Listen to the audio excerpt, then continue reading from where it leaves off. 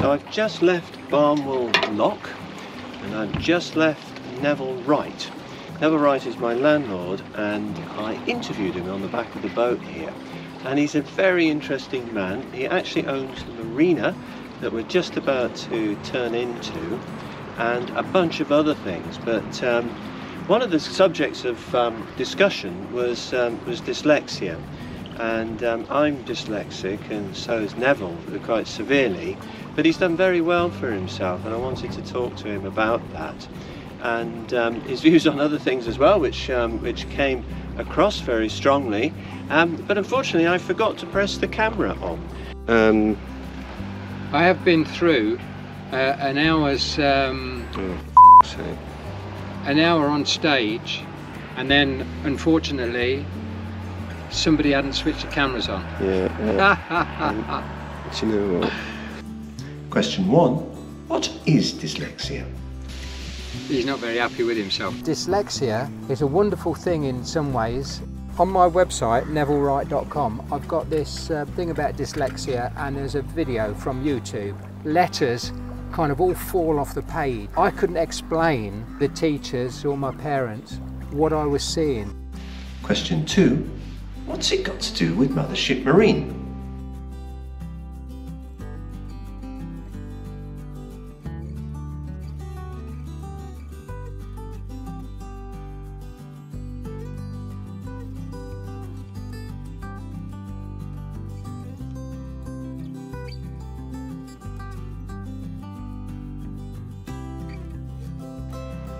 We just think differently.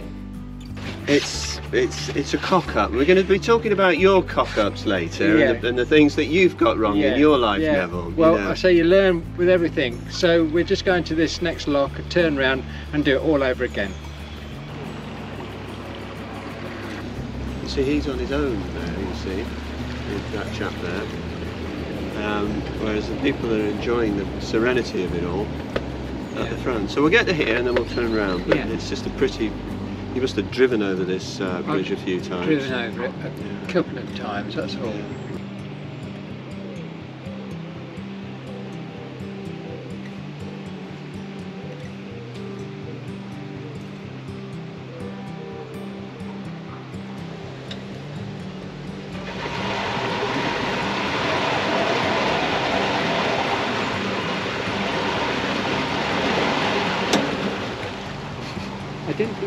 Think that piece of land belonged to him. That's it's it's private land, I believe, but people camp on it. They? Yeah, and um, I, I think it's the people that own it do the camping. All right. But it's a nice spot. Yeah.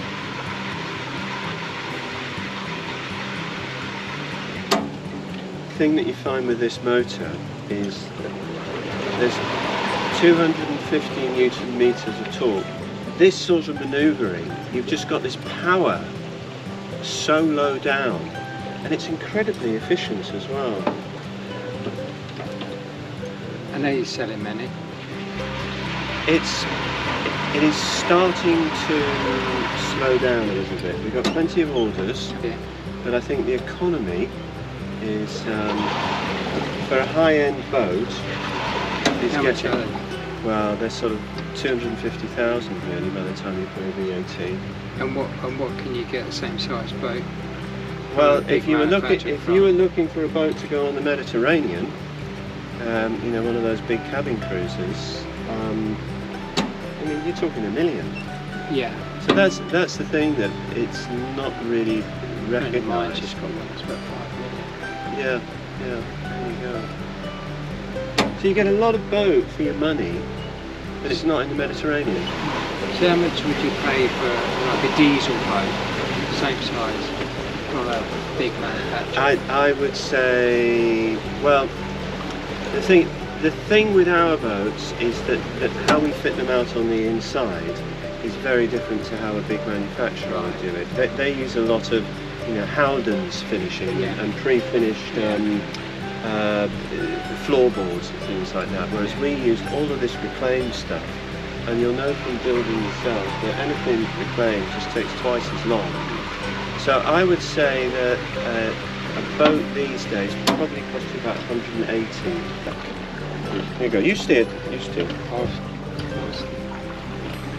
Yeah, that's going. I'm just. I'm just going to do this one here.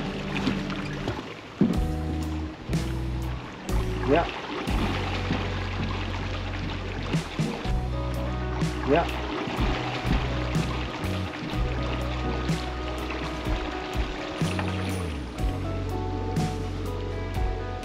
Yeah, this is exciting, Neville. I feel good about this. Good. Right, what do you want to know before the batteries run out? So, so let's. Um, Go again. Alrighty. I'm out on the river with uh, with my landlord, which is an unusual thing to do on a Tuesday after. Well, it is afternoon now, isn't it? It started off as Tuesday morning. Yes. It's midday. We're on the River Nene. It's a beautiful, beautiful day. We're just going past Lilford Hall, and um, Neville divulged to me that um, he wanted to buy this. Um, but he is actually an owner of a marina, an accidental owner of a marina, which I find, you know, sort of, there was no real plan, was there, uh, Neville? Yeah. Uh, the plan was in 2011. We'd just sold one of our businesses. Um, we'd got a hundred million pounds, and most of it was in cash. Uh, the plan was to park um, the money in different places that we thought um, would preserve the value. So it was um, the marina was one thing. Yeah. You know, How's it worked out? Excellent Yeah. excellent That's because good. we uh, there was nobody at the time in the marina, no commercial uh, people, and it was a manufacturing hub for uh, Fairline boats, and so we was paying I don't know 100 and some odd thousand rates on empty Mhm. property, and we decided to get planning permission for lots of houses and Mm. and then by the time we'd got planning permission, um, people like your good self would come along Yeah. and, and everywhere was rented. So um, that changed things. And um, and we, we prefer to have buildings let with uh, businesses Yes. running from them. Yeah. So um, T- that was it. Did you have a plan when you? I mean, do you plan? Yes. Agents come to us. Um, Yeah. You could come to us at any time, any day, Yeah. and say, "I've got this for sale," Yeah. and off we go Yes. in a different direction. Yes. and um, somebody could come and say, "I want to buy something from you," Yeah. and um, that's it. Yeah. You know, if, Yeah. That's the way life is. Let's go back right back now Okay. to early days Yes. at, at school. School. Yeah. So you didn't like school, did you? Um, school for me was an institution that I never got on with. yeah. Um, it said it, it tried to make you do things you couldn't do. yeah. It punished you when you couldn't do them, and it made you do more of the same Yeah. thing.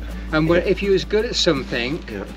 You wasn't encouraged to do more of that Yeah. and less of the other. And I say there's a um, there's a way that you can teach kids, and and the way is Yeah. that um, do follow a curriculum that they're interested in, Yeah. and everything else will fall into Yeah. place. Yeah. But all they do is, well, I, I thought I was gun fodder for the next war. Right. That's what I thought I was there for. Um, being beaten, being humiliated, being put down, and as the um, a- a- as a school teacher said, you'll never amount to anything in life right. yeah. Um, and There of you course go. That's, that's that's encouraging, wasn't Yeah, it? yeah, it's very encouraging. It's very good like you that. see, there's a lot of reverse psychology, whether they know it or not. It's reverse psychology because I used to think, uh, I I used to think he was right at the time, but then when I was 24, I began to change my mind and think completely different Yeah. because they'd brainwashed me into thinking that I was useless, I was Yeah. stupid, I was no good, I'd never amount to anything, and I'd spend my life on the dole uh, or in meaningless, doing meaningless tasks. Yes. Um, Yeah. So it, a lot of it is reverse psychology. Yeah. I think. So what were you? What were you good at then? That you didn't get the opportunity I was to have a go I was good at physical work. Right. Okay. Anything from like uh, when I was seven, I had a, a I helped the milkman. Yeah. You know, when I was eight, um, I probably did. Oh well, I was doing people's gardens. Yeah. Eight, nine. Um, when I was ten, I was an errand boy. I was Yeah. used to uh, post. They used to call it Normid News through the letterbox Okay. of thousands Yeah, of yeah, people each yeah, yeah, month. yeah. Um, and um, you know, so it went on. Yeah. So I'd always got jobs Yeah. errand boys and whatever. I was a butcher boy. I was a uh, worked. Oh, I've worked in so many places Yes, as well. yeah. And and since leaving Yeah, school, Yeah. leaving this institution Yeah. that I hated Yeah. uh, was the best thing ever because that's when I started to learn. And Yeah. I, I've got dyslexia. a Dyslec, I'm dyslexic and A, ADHD. Yeah, I, I just realised I'm. I'm Who's that? uh, let me just. So, sorry all right. about this. Yeah. Can I I'll, break that? I'll take over. Um, won't be a second. yeah. Go ahead. Hi. Hello, is that Neville? Yes. Hi, yeah, it's Lauren calling back from review your contract. Yeah. Um, they have managed to get that sink base on Oh, um, lovely. for our delivery. And what I'll do, I don't know when they're going to come, and we do it comes sort of on a Wednesday, Thursday run. Normally we're on the Wednesday. Okay. But what I'll do is I'll give you a call as soon as they've been. Lovely. Let me know where it is and I'll come and pick it Yeah. up. All right. All right then, brilliant. Thanks very Thank much. you. Thanks, bye. Bye. So Sorry, I had to take that. So you're still working. You're still picking up bits Um, and bobs. You steer. I'm yeah, enjoying so it. Yeah. so um, we've got nine companies that are currently uh, got a lot of work on. Mhm. Um, yeah, we do a lot of building, house building, factories, warehouses, Yeah. um, and then there is the money side. You know, the investments on stocks and shares and Mhm. and, and businesses, other businesses Yes. as well. Yes. So um, lots and lots going on, Mhm. and um, people say, "Why are you not retired?" And I go, "Well, what is retirement? Doing what you want to do when you want to do it, Yeah. um, and hopefully with the money. Yeah. Well, I'm doing what I want to do Yeah. when I want to do it every single day, Yeah. and uh, that's and I've done that since I was 24. So I retired at 24, really. Right. You know, it depends on what you call retirement, and I, I'm, I try and work as hard as I can, um, physically, because I want to keep my body in good condition. Um, I'm looking forward to 2050 because the, I mean, we've got the Agenda 21 and the Agenda 30 in the world, and then they've got the Agenda to 2050. Well, I'll be 100 then, Right. and I'll like to see all that collapse and it never happen. Um, you know, so- will you be there saying, "I told you I was right. It's in my name." yeah, exactly, exactly. Um, and, and I think World War Three started uh, in just uh, 2020, and I said that, and I got banned from Facebook. Oh wow. Um, and I said it's a different type of war. It's not like one country going uh, to war with another. Mm. It's that you are at war with the powers that be, Yeah. who are trying to um, cripple you. Yes. So, um, oh, I don't think we're here for that conversation, Well, it's, it's, it's an in, it's an interesting little um, uh, tangent to tangent, to, to yeah. go up. and I there, go up yeah. on tangents. Yeah. So you had a bad time at school. We've we've, Very we've summed that up, and, and Horrendous. but you did meet your wife, I. Marilyn. Uh, yeah, I was 16 and seven days. She was 15, and uh, it was uh, I think it was June the uh, 25th, something like that, on a Saturday. Yeah, Mhm. I met her. Anyway, so that was a long time ago, Yeah. 1966, Yeah. And um, Well, I can't believe how beautiful it is- it is out here It is today. beautiful. Yeah, Yeah. indeed. And if we wasn't doing this, I'd be bored to tears because I yeah, need to be yeah, doing something, yeah, yeah, yeah. all the time. What, what what time do you get up in the morning? Because you said you got ADHD, Yeah. and I, and, Yeah. and here's the thing: you see, there's a lot of kids who've got ADHD, and Yeah. we know that they're running round and, and Yeah. you're trying to keep the red juice and away what do they from do? them. And what do they do uh, to school? They make them sit down. No. And the and the kids are looking out the classroom and they're, they're seeing pictures in the sky, you Yeah. know, they, and they make them sit down and pay attention. Yeah. No, let them Yeah. run about and, Yeah. and do, but in a controlled way Yeah. of doing exercise. Yeah. And um, It's it is getting better. I might have told you that my wife is a head teacher and in her school. They Yeah. do a lot to, to help kids in you know with with with with these things. But I think they're sort of in, in a funny sort of way superpowers. you were saying, Mm. what time do I get up? Well, it depends on what time I go to bed because Mm. I always go to bed. Uh, when I was writing my book, three and a half years, I always made sure I went to bed uh, before 20 to 20 to 4, something like that, Right. because the birds. So I wrote my book between 10, and, 10 at night and 3 in the morning, really. Mm. Um, last night I went to bed at 1 o'clock this morning and I got up at 6. Yeah. So I'd obviously had enough sleep. Yeah. Um, I never have an alarm clock. Yeah. Never. I've never had uh, an alarm clock. Uh, when, well, before I was 24, when I thought the world owed me a living and things wasn't fair, I had an alarm clock. Well, how alarming is that to get up to that? you know, after that, I just naturally got up Yeah. because you want to get up, set set uh, Yeah. your time. Yeah. Um, I wanted to get up at six o'clock this morning, Yeah. and I did. Yeah. So sometimes it's five, sometimes sometimes it's eight. It depends on what I'm doing. Yeah. And uh, um, but I never spend any time laying in bed. I might go to bed, sleep, Or wake you get up. get Uh, up. one of the things I wanted to talk to you about was was businesses because you started an, an awful lot of businesses, and I know that um, you, you you mentor people in in doing that kind of thing. Yep. But when you s- s- see a business idea, what's going through your mind, or do they all come? You know, do you, do do you get ten business ideas a day and you say, no, no, no, no, no, no, no? Ah, maybe. Is that how does it work for you?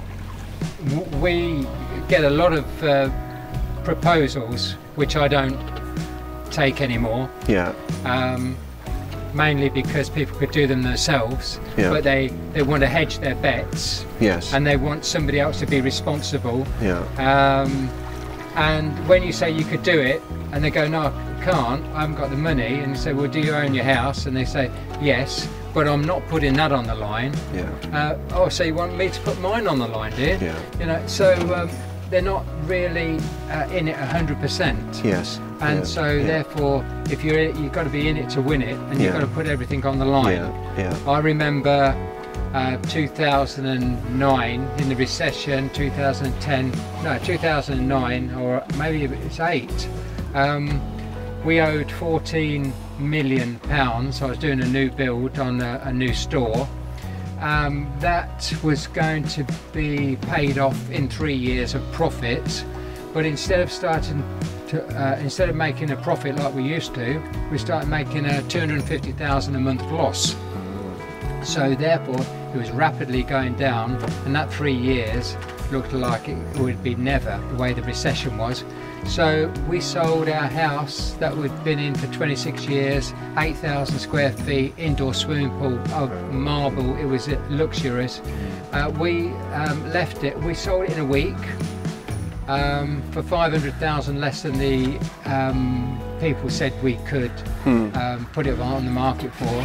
I needed the money. We went and lived. We took our suitcases, left everything in the house, everything uh, in the garden, everything in the shed, everything. Um, and we took our suitcases and went and lived in our office for two and a half years. yeah. And that was to save 125 full-time jobs. And um, we could have easily run away. I'd got a three million pound cash pension pot, yeah. um, and I was able to take all of that money out and put it into the business, as well as the money from the house, yeah. uh, because I knew that if it went down like it looked like it was going to go down, um, I knew that I could start a business the following day, Yeah. like window cleaning, whatever. Yeah. I could I could go and live in a 10 foot caravan like I lived in there for a start, but I knew 125 people who had their families Yeah, uh, couldn't do that. yeah, You know that maybe one or two could, but Mm. majority can't. yes, Um, so when your back's against the wall, you do things that uh, I would say kind of the normal run-of-the-mill person wouldn't wouldn't do. Yeah. You know, and you've Yeah. got to have that entrepreneurial get up and go and. Um, and, and so this is why I don't put money into most people's businesses Yeah. because they're hedging their bets too much. And an entrepreneur is somebody who can recognise something. They can't do it themselves, Yes. but they Yeah.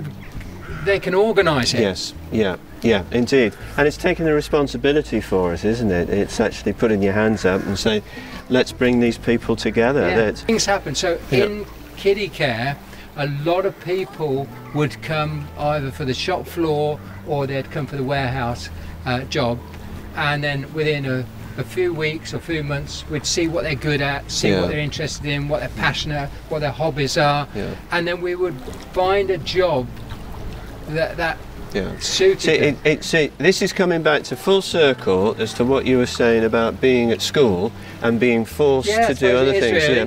And you know, they never at, at school. Quite often, if you you might be good at maths and you're not very good at English, so they send you on an extra English class. You yeah. know. Yeah, now, if you that. What yeah. about extra math Yeah. class? Now, just think of the logic. If you were good at football, but Yeah. they said, no, we want you to improve your tennis. Yeah.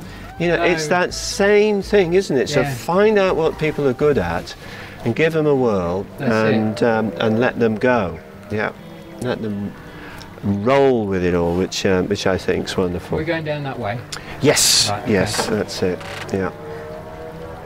The thing with this boat, it's so quiet that you, you hear everything that's going on. Yeah. The worst place to be is actually going up the Grand Union Canal when you've got the train on one side and the bloody M1 on the other side because Right. it's whew, whew, whew, whew on one side and vroom on the other side and it's awful you know it really is but you, you just get I could even hear the cows walking in the field now tell me what you think about the electrification of, of everything as it's going to perhaps Well, be ele- electrification is not new. yeah You know, if you look back in history, there was a lot of cars that were electric um, 100 years ago. Um, big, uh, big businesses got rid of those. Um, I think it is the electric car will go like the DeLorean, and um, today's electric car will go like the DeLorean and the C5, Sinclair C5, right? Because how. Uh, why would you buy? I say to people, well, what's it fueled by? And they say electric. No, what's it? It's either gas, oil, you know, it's wood, it's coal. What is your car fueled by? yeah And they think it's green, yeah and it's not. yeah You know, it's it's now. This is a this boat is a different thing altogether. This is unique. This is being uh, the sun powers it yeah yeah and so that's quite a unique thing and it's good but when you come to the battery cars what's the life of a battery eight years Something and where that. does it come from i think it should have uh, the stars on Hmm. each of the uh, electric cars Hmm. on and the, or a little child symbol of a child how Hmm. many how many children's lives did this car cost Yeah. in in Yeah. getting that Yeah. um, out of the ground Yeah. and how are they ruining the uh, landscape and everything to try and make Yeah. batteries. Yeah. I think it's wicked. I do, Yeah. and Yeah. so therefore, you know, I'm I, I'm I'm against uh, electric cars. Um, but I was where, when we stopped having the horse and carts uh, in the 50s, we went on to electric uh, milk floats. Yeah.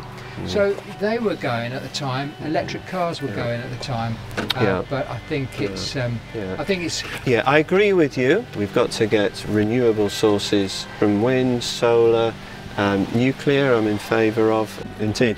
So, Neville, we're coming to the end. I want to thank you very much, sincerely, you know, it's You're you've been a good sport, and the fact that we've gone through these questions twice, you know, we'll, uh, uh, there will, got two lots of answers as well. we, we've, we've got two lots of answers. We managed to get all of the sound on the first time, but um, me cocking it up um, on the cameras. Unfortunately, it's just Doesn't something matter. I have to live with. And um, at the end of the day, there. Well, it hasn't. Um. It hasn't deterred me, or it hasn't. Um, just, you know, you accept these things. Yeah. Yeah. Accept the things you cannot change. Yes. Have the courage to change the things you can, Yeah. but have the wisdom. And this Yeah. is what I've got. Yes. Yeah, have the wisdom to know the difference.